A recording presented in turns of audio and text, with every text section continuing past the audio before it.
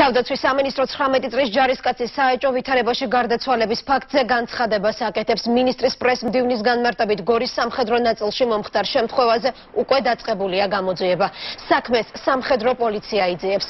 გარდაცვლილი კობა მახარაშვილის დაკრძალვის ხარჯებს თავად თავდაცვის სამინისტრო დაფარავს მოხდარ ფაქტთან დაკავშირებით აღწრულია სისხლის სამართლის საქმე და გამოძიებას აწარმოებს სამხედრო პოლიცია.